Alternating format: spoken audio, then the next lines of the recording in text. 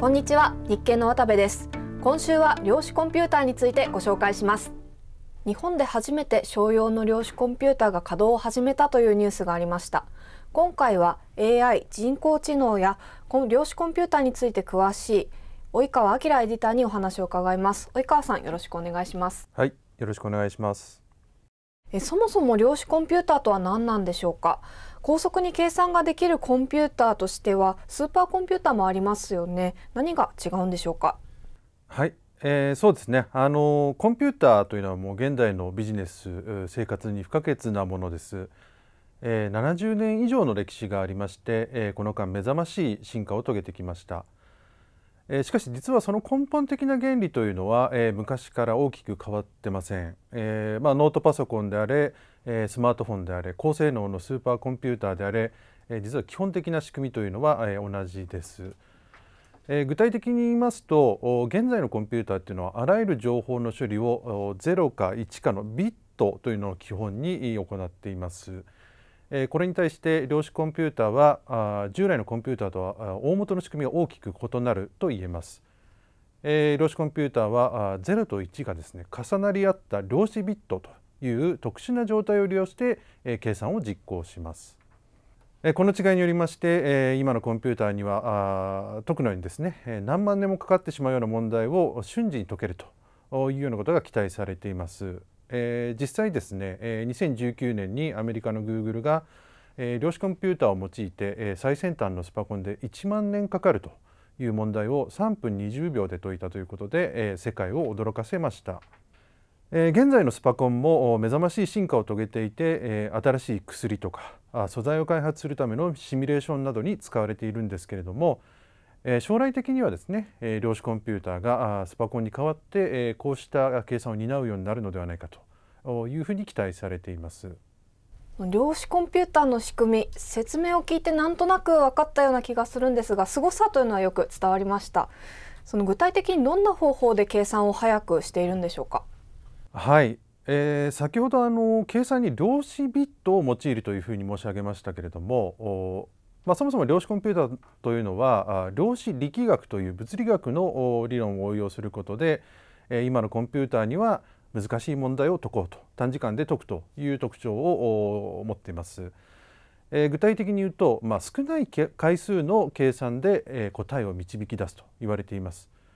イメージで紹介しますと自転車などでよく使う4桁のダイヤル錠をちょっと想像していただけますでしょうか。えー、仮に、えー、2020という番号で鍵が開くとすると普通のコンピューターでは、えー、0000からあ9999まで、えー、一つずつ数字を試して答えを探していくイメージです。えー、これに対して、えー、量子コンピューターはすべてのパターンを同時に調べるということで、えー、はるかに少ない回数のトライで短時間に、えー、2020-2020を特定できてしまうイメージになります。7月27日には東京大学と日本 IBM が国内初となる商用量子コンピューターの稼働を始めましたこれはどれぐらいインパクトがある話なんでしょうか？はい、えー、今回、えー、IBM の量子コンピューターが日本に持ち込まれましたけどもこれは量子ゲート方式と呼ばれるタイプで、えーまあ、日本に初めて持ち込まれた商用機ということになります。えー、実は量子コンピューターを作るのは非常に高度な技術が必要で、えー、世界でもその技術を持つプレイヤーは一握りです。えー、IBM はそのうちの1社ということになりますが以前からクラウドで量子コンピューターを利用できるサービスを展開してきました。えただですね今回あの日本に実機が設置されたことで、え、日本企業などが独占的に利用できる環境が整ったと言えます、え、その意味は大きいと思います先ほどから量子コンピューターがどんな技術か説明してきましたけれどもまだまだ開発と開発の途上で実際にビジネスなどに利用できるようになるできるようになるのはまだ先の話です。量子コンピューターを扱うには従来のコンピューターとは異なる専門知識ノウハウが必要で日本は IBM の実機を用いてその知見の収集に取り組むことになります。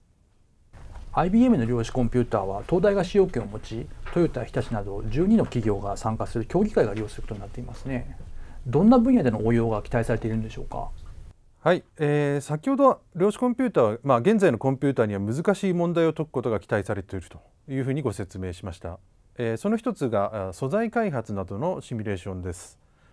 え今のスパコンでもあの実験を代替するシミュレーションというのは行われているんですけども実は完璧ではありません。え量子コンピューターが進化すると、まあ、実際の実験を置き換えるようなですね高度なシミュレーションが可能になって、まあ、例えばこれまで10年20年かけて発見していた画期的な素材を、まあ、1年で見つけるといったことができるのではないかという期待があります。その素材の開発の中ではどういったものを対象に量子コンピューターを使うのでしょうか？はい、えー、これはやや専門的な話になりますけれども、まあ、光電子材料の開発などがまず有力候補になるのではというふうに言われています。例えば三菱ケミカルは太陽電池ですとか led え jsr は半導体の回路形成に用いるフォトレジストえ、あるいは液晶ディスプレイ材料を候補として想定しているとのことです。えーまあ、光や電子というのはその、えー、そもそもですね量子そのものでして、えーまあ、簡単に言うとこうした量子の振る舞いとか特性をシミュレーションするのは、まあ、量子コンピューターが得意としていることなんですね。で例えば三菱ケミカルなどはあ、まあ、有機 EL の材料に電圧をかけた時に、まあ、発光する様子というのを量子コンピューターでシミュレーションするという研究を行っていますけれども、えー、まずはこういう計算から導入が始まっていくのではないかというふうに思われます。素材という観点では脱炭素に関するものも期待が集まっていますよね。はい、あの今世界は気候変動対策として、えー、脱炭素に大きく舵を切っています。えー、電気自動車の、まあ、航続距離を伸ばす新しいバッテリーの素材ですとか、えー、二酸化炭素を効率よく吸着する材料の開発に革新をもたらすのではないかとそんな可能性があります。まあ、ただですね、えー、現時点の量子コンピューターというのはまだ開発途上ですので、えーと、今すぐ高度なシミュレーションができるという状況ではありません。えー、今現在はあ日本企業も含めて、えーまあ、世界中の企業が現状の量子コンピューターってどんな計算ができるのか、えー、近い将来どんな用途で活用できるのかというのを探っている段階です。今後3年から5年程度で素材開発などの分野でもスパコンに置き換わるような計算ができるようになるという期待がありますけれども、まあ、まずは限定的な利用から始まるというふうに見られています。まさに今使い道を模索している段階だと思います。アメリカでは金融商品の開発にも使われているようですね。はい、えー、金融もあの素材開発と並んでですね、えー、量子コンピューターの活用の期待が大きい分野です。え金融派生商品の価格を予測したり、えまあ、リスクを評価したりするという計算は、まあ、複雑な要素を考慮して、えシミュレーションする必要があるんですけれども、えこれをですね量子コンピューターを用いると、まあ、劇的に拘束できるのではないかというふうに期待されています。えアメリカのゴールドマン・サックスなどがあこうした計算に用いるための研究を進めておりまして、まあ、同社は最短で5年後にも導入できるのではないかという見通しを示しています。えまた量子コンピューターはですね、まあ、複雑な組み合わせの中から最適なものを選ぶという計算にも向いているというふうに言われてまして、まあ、金融の分野でいうと、まあ、資産ポートフォリオの最適な構成を導くとそんな計算に利用できるという期待があります。え日本でもみずほフィナンシャルグループなどがこうした研究を進めています。他にはどんな分野で使えると見られているのでしょうか？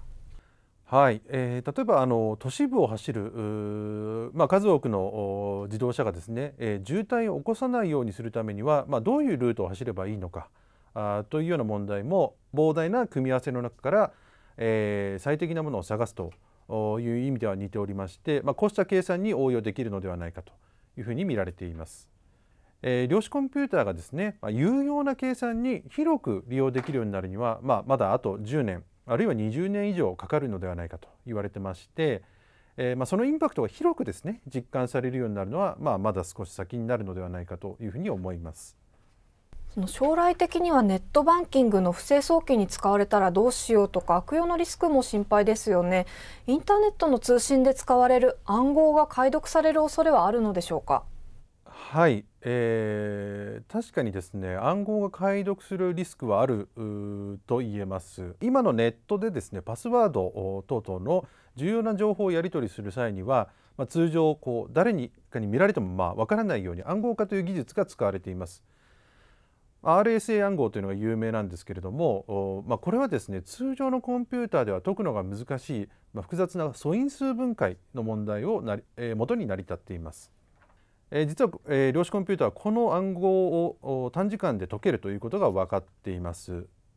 まあ、ただですね暗号解読のための計算を実行するのは、まあ、今の量子コンピューターの性能ではあ不可能です。まあ、できるようになるとしても相当先の話というふうに考えられておりまして、えー、現時点ではあまり心配する必要はありません。えー、高性能の量子コンピューターの登場を見越した対策というのもですね検討が始まってまして、えーまあ、どんな手段を用いても不正な解読が不可能と言われるような量子暗号通信という技術も登場していますビットコインなどいわゆる仮想通貨暗号資産の価値が下がるのではないかといった懸念もあるようですね。はいえーまあ、Google がですね量子コンピューターがまあスパコンより速い計算で、えー、速い速度で計算をしたと発表した日にはビットコインの価格が急落するという事象が起きました、えー、ビットコインは暗号技術に支えられているテクノロジーですので、えー、量子コンピューターで暗号が解読されると、まあ、その根底が崩れてしまうのではないかというのが売り材料になったと考えられます。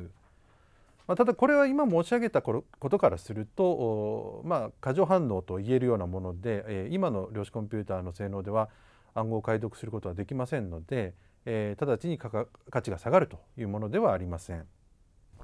量子コンピューターができても今のコンピューターに全て置き換わるわけではないと思いますが複雑な計算が必要な場面では期待が高まりますよね。これから実用化に向けてどんなところが課題になってくるでしょうか？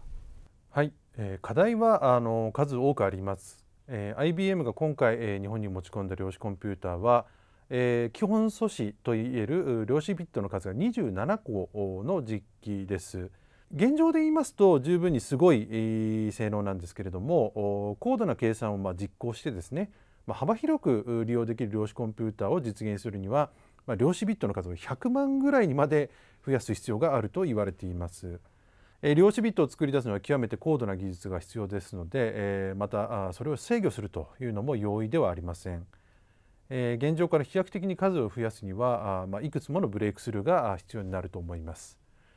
また量子ビットの数を増やすということとも関わっているんですけれども計算の過程で起こるエラーというのを克服するということも欠かせません。これらの技術的な課題を乗り越えるのは決して簡単ではないんですけれどもまあ、一方でですね、えー、Google はこれを2029年までに達成するという目標を掲げています。えー、世界的にも量子コンピューターの開発の投資というのは盛り上がっておりますので、えー、またスタートアップなどの参入もですね、えー、相次いでいてさまざ、まなアイディアも出ています。ま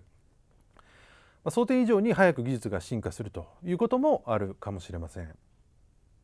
ここまで及川エディターにお話を伺いました。及川さんありがとうございました。はい、ありがとうございました。今週もご視聴いただきありがとうございました。皆さんは量子コンピューターがこんな分野で活用されたらいいなとか量子コンピューターのこんなところに注目しているようなどあればぜひコメント欄で教えてください。高評価チャンネル登録もお待ちしています。